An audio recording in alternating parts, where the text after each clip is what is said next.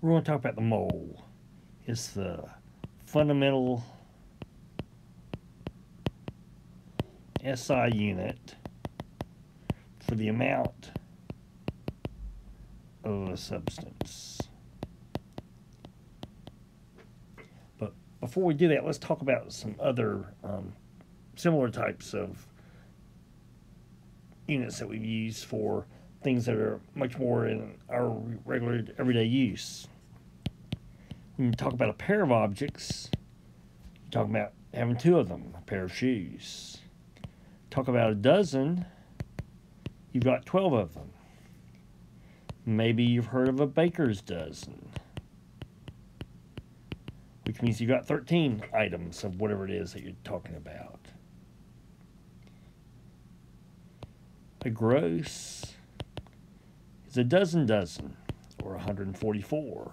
You might have a gross of pencils, for example. Some of you may have heard of a score. A score is 20. Four score and seven years ago, our forefathers brought forth upon this continent a new nation. Is what Abraham Lincoln said in his Gettysburg Address. So four score and seven, four times 20 is 80, plus seven is 87. So if you add 87 to 1776, you get 1863, and that's when the Gettysburg Address took place. Those are all numbers to talk about a group or quantity of objects, and that's fine in this macro world. But when we get down to the atomic world, we're talking about very, very small objects. And so to talk about two atoms or a dozen atoms or molecules isn't going to do us any good. Um, what we need is a, much larger way of talking about them, and that's the mole. And the mole has an abbreviation of MOL. Not much of an abbreviation, just like you lost one letter, but that's what it is. And what the mole is going to be defined as, it's going to be 6.022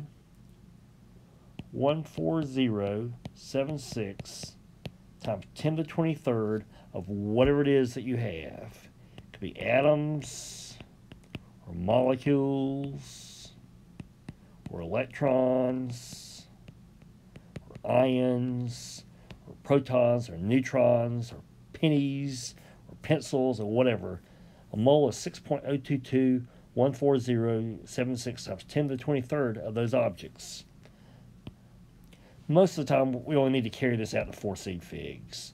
But if you need more of that, that's what it's going to be.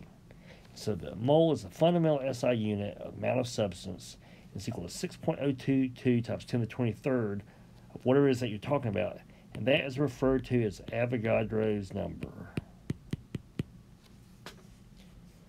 Avogadro did not come up with the number, but we've named this number in honor of him for his work.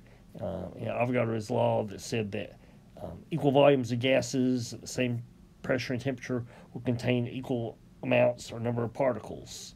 And so from that, we're, to honor him, we um, have called this number Avogadro's number.